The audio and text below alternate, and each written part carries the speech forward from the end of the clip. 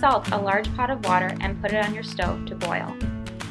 Snap about a quarter inch off of each end of thoroughly washed and drained green beans. Use either a knife or your fingers to do so.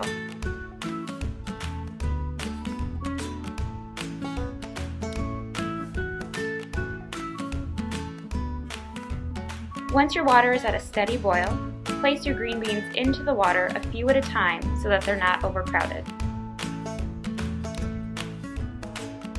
Let them boil for about two and a half to three minutes.